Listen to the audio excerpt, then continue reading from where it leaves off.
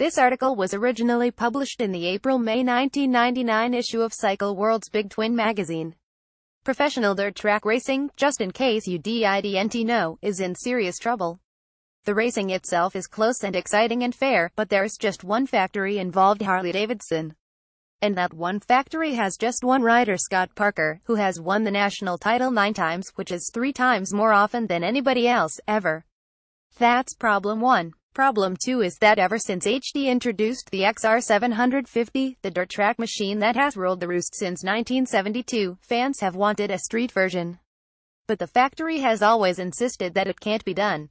Which brings us to problem 3. Largely in response to the first problem, the American Motorcyclist Association AMA, which sanctions all Grand National Dirt Track competition, has drawn up rules for a new class, called Super Trackers, for production-based twins displacing up to 1000 cc. Super Trackers goes national this year, running as a support class at 10 national championship events on select miles and half miles.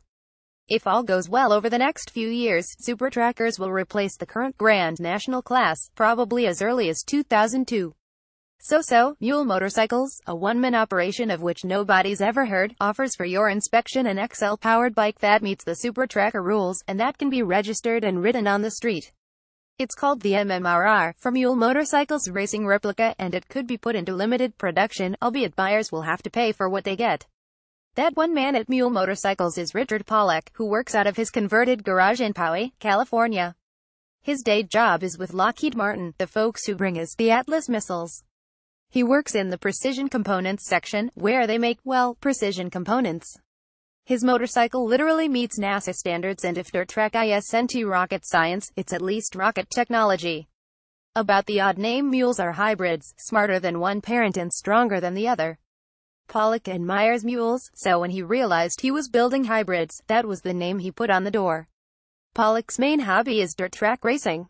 He's an active member of the San Diego Flat Track Association and currently competes on a Yamaha YZ400F, a four-stroke motocrosser he has converted to dirt track specs. As sort of another hobby, Pollock hooked up with some Japanese tuners working with Harley-Davidsons. Yes, there are legions of Harley fans in Japan, and had developed kind of a cottage industry converting sportsters into race replicas, both dirt track and road race style. Here's where all this separate fact begins to come together. Sundance, the Japanese Harley outfit Pollock works with, has done some impressive work on the XL engine, especially with XR style heads. Thus, Pollock has come to know the XL engine and the people at home and abroad doing improvements on it. And he can make just about any part, to any spec, in just about any material. And he knows racing, as well as the serious problems dirt track has been having for the past generation. And he knows the plans for the new rules and he holds an interest in CJ Frames, just up the road in Fallbrook, California, where the Harley team and the top private tuners go for the latest in XR frames. For the past 25 years, ever since Harley's XR 750 became the standard of flat track racing, people have been adapting them for the street. There are XRs converted, as in the XR engine with an alternator or generator and kickstart there are iron-top XL engines in.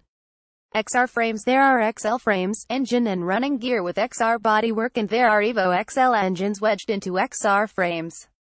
That last example is the most practical, aside from the fact that the Evo XL engine is bigger than the XR engine, meaning that installing one calls for a lot of bending and grinding and tweaking. And worst, the engine isn't in its optimum location when all the cramming is finished. Pollock's mule began with a CJ frame, the very latest model, except that current dirt track practice uses one large, centralized shock and spring, whereas Pollock wanted two conventional shocks. So, he cut off the back of the CJ version and fabricated his own aft portion while making it longer so the XL engine would fit where the weight distribution, or on aft inside side toe side, was just where it ought to be. Stock XRs yes, ma'am, there are such things HD made a couple of hundred and then switched to selling engines and helping builders find their own frames, glass, etc. use an oil tank below the seat. CJ frames, however, store the engine oil, 2 plus quarts of it, in the frame backbone, freeing the space below the seat. That's where the Mule has its battery, a sealed, high-output Yuasa unit Pollock located through the Sundance connection. Swing arm is CJ, as used on the company's twin-shock chassis, with progressive suspension dampers. The dual shocks are there partially because they'll work just fine for this application, and partially because Pollock did not mind a touch of the traditional Harley-Davidson look, witness the black and white paint and the tank decals. With old and new comes borrowed, right the fork is a combination of parts, as in the actual stanchion tubes and sliders are from a Honda CBR 900RR, mounted in triple clamps fabricated by Mule. The rake and the offset between the steering stem and the tubes are a compromise between dirt and road settings. Front hub is from a Yamaha TX750. Ask your dad. Whole recall that the TX750 engine of the mid-70s was a disaster. But the hub is strong and readily found at the recycling yard. It has a 36-spoke pattern that works with the Akront rims and, most important, it carried a large brake disc, one made before cost-cutting became rampant. The disc is alloy, with lots of chromium in the mix, and even after 25 years in the salvage yard it's easily trued and resurfaced. It also is compatible, thanks to deft machine work, with the Grenke calipers, pads and master cylinder. Using the same principles, the rear hub is Barnes, a classic dirt track name, with Nissin caliper and pads, and a disc from a Yamaha RD350, again, a quality component, easily found newer used, never mind the country of origin. Pollock chose 18-inch wheels rather than the 19-inchers required by the AMA for Grand National Racing. He opted for the 18s because for street use, the choice of tires is much better for the smaller, wider rims. As seen here, the Mule is fitted with Bridgestone Battlex tires, aggressive road rubber that will serve on hard-packed dirt of the racetrack variety. The rims will also accept pure road race tires, rain tires, street tires or even knobbies, from most major brands. A couple of different if traditional features are the big headlight and tach. The light comes from Yamaha's State Route 500, but in black, it looks like it's right off a Vincent or a Brough. And the size permits use of a serious quartz halogen bulb. The engine in the MMRR began life as a 1986 XLH 1100, bored to 3.5 inches, which comes out to 1,200 cc. Because this prototype won't be raced, officially, at least, it was built to have more displacement for the street so it could deliver power equal to that of an all-out racing engine but with less stress and noise. The cylinders, from CR Axtell, are cast iron all the way through the additional strength and reliability are reckoned to make up for the added weight and heat retention. The cylinder heads began life as stock XL, but they've been ported and reworked by Dan Baisley in Portland, Oregon, who also blueprinted the flywheels. Cams are from Andrews, pistons are Wiseco's, Carrillo supplied the connecting rods, and the dual-plug ignition is from Crane. The single carb is a 41mm can flat slide. On the primary side, the cover was adapted to carry the left foot peg and shift linkage. A linkage was needed because the peg has been moved aft, for that classic dirt track racing posture.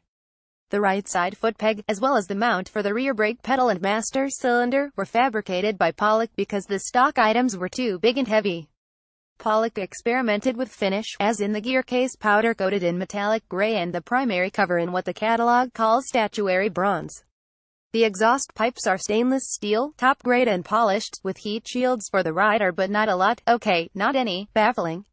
First-class glass supplied the tank, rear fender and seat, and they are exactly what the firm supplies to the pro racers. Harley-Davidson handed that part of the business over to private firms when it became clear that small, outside operations could make a living from what is a losing proposition for a big corporation. Actually, there is something of that philosophy theming this entire project. Pollock is a master craftsman and eraser, and that's how he thinks and builds. And his workmanship speaks for itself. But some of the details don't. See that shaft just in front of the gearshift shaft on the primary cover. Everybody who's ever worked on an XL or XR engine knows the bother of setting valve clearances or timing by removing the cover and bumping the engine forward and back, forward and back too far and not far enough just to get the piston set in precisely drop dead center or 36 degrees BTDC or anywhere, actually.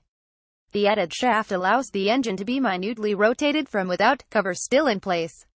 This is how Richard Pollock thinks. And that thinking pays off. Choosing his words carefully, Pollock says he has gone through stock Sportsters part by part and reached the conclusion that there has been no part on the bike designed or built primarily to be the best or the lightest it could have been. The factory wouldn't be surprised to hear this. HD's priorities are more on making the best product it can afford to make. But at the same time, Mule's priorities allow the use of better materials and more time than a mass-produced motorcycle could possibly have. Parallel to that, Harley has dominated the Grand National Series while rarely telling the public about its mini-championship or its dominant rule, all while spending millions on an ill-fated and, thus far, futile VR1000 road racing effort. Neither has HD offered a street version of the XR.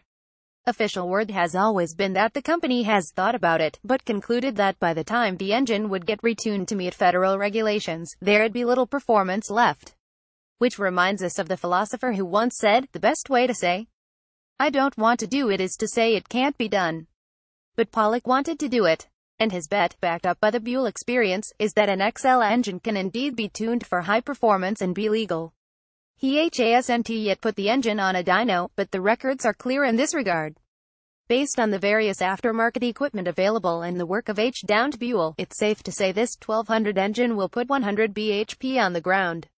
That yields an impressive power-to-weight ratio, thanks in part to the use of titanium and special alloys, and the care taken by Pollock to make each and every part on the mule as small and light as is practical. This example tips the scales at 385 pounds with oil and its 2.25-gallon fuel tank topped off. Compare that with the 492 pounds of a full-tank 1999 Buell or the even porkier, 520-pound XL1200S Sportster Sport. Better yet, Pollock says using the factory's alloy cylinders would subtract 25 pounds from the mule's total. Moving in that direction, stripping the bike for racing would easily bring weight close to the 300 pounds normally recorded by an XR750 during the AMA's tech inspection. Though the mule hasn't been dynoed or clocked at the drags or the dry lakes, a brief ride tells you that this is just about as fast a motorcycle as can reasonably be put on the street. It's hard to imagine any other production-based 1000cc twin with more performance, or less weight than this one has. What next? Surely there's a lot of blue sky involved here. Nobody denies that professional dirt track racing is in need of help, but there's no certainty that the new rules and entries will be the answer. But no true blue Harley-Davidson racing fan doubts that the MMRR, with its classic looks, traditional technology, the very latest in improvements and all the power any pro can handle, is exactly the kind of bike the motor company should be building.